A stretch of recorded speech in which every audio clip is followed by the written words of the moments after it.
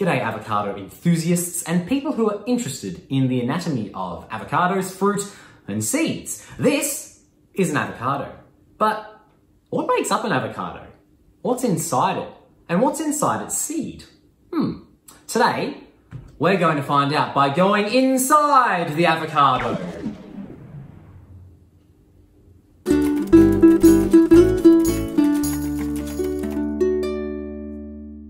Today we're going to be going inside an avocado. We're going to be going through different layers with our end goal to be the center of the seed.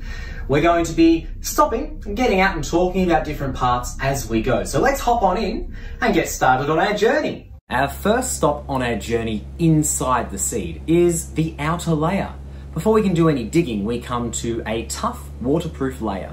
Here we are at the exocarp. This is the skin of the avocado. It's surrounded by a thin waxy layer which you can feel on the avocado. Then if we go a little further down we get to the epidermis which is made up of several different layers of cells and if we go through those cells we get to another layer of more brick-like cells which help to hold everything together. If we go a little further down again we get to the parenchymatous tissue which is thick and rigid and is partly responsible for the brittle texture that avocado skin has, why it cracks so easily. It's not so flexible. If we're going to go any further into the avocado, we're going to need to dig. We'll need a drill. Looks like we're ready to go. Let's hop in and continue on our journey. The exocarp, or the skin, is the part of the avocado that we peel it's not much good for humans to eat. In older fruits, you might even notice small amounts of cork developing, especially around the bottom areas of the avocado. Our next stop is the yummy bit, the mesocarp, or the flesh. After digging through the thick exocarp, or the skin, we find ourselves here in the mesocarp, or the flesh, the part of the avocado that we eat.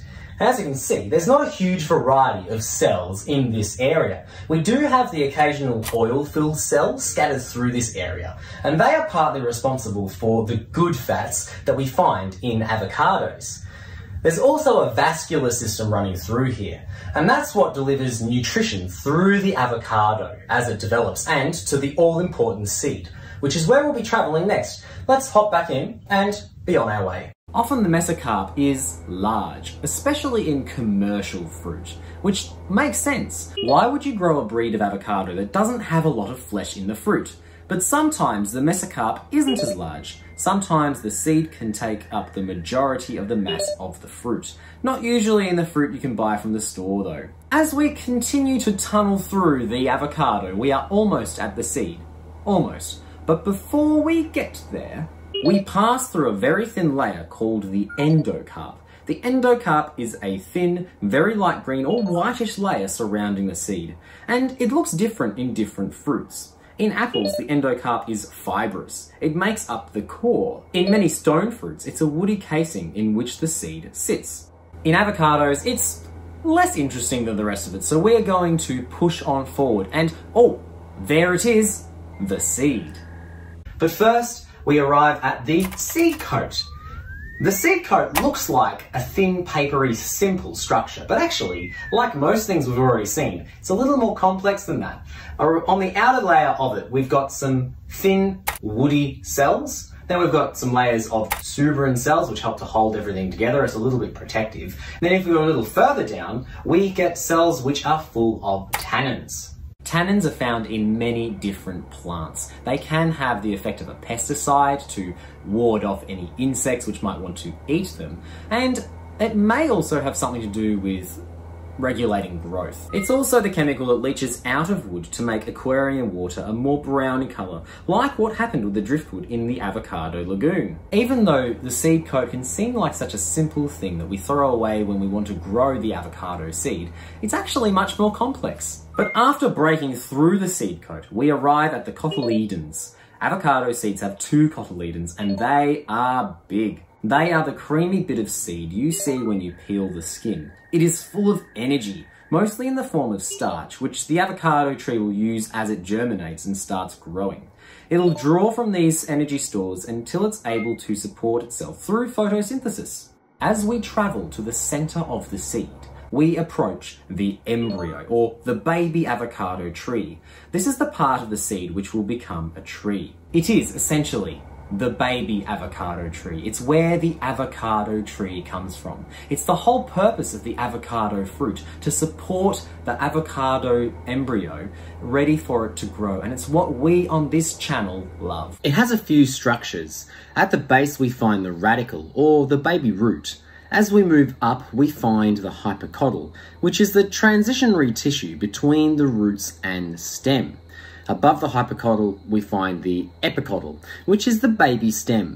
Both the hypocotyl and epicotyl are attached to the cotyledons. At the very top, we find the plumule, which is the baby leaf tissue.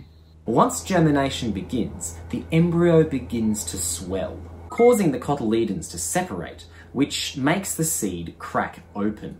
Then the radicle will descend and the epicotyl will elongate, and the plumule will begin growing into leaves. And that is the anatomy of an avocado.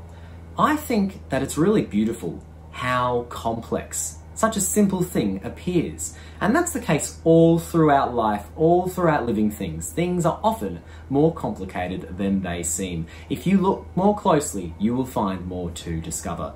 And I just think that's wonderful. Even though I simplified quite a lot of the things in an avocado in this video, I just think it's really beautiful to imagine things more complexly. And there we have it. Thank you so much for watching this video. I hope that you have enjoyed it and you found it interesting. If you did, I would love to know in the comments below and with that like button. If you'd like to help this channel grow, please consider subscribing if you haven't done so already. And if you have a friend who you think would enjoy this kind of video, please consider sharing it with them. I'm also on Instagram at Scott Grows an Avocado Tree if you'd like more avocado and plant related content over there. Thank you once again for watching and I will see you next time.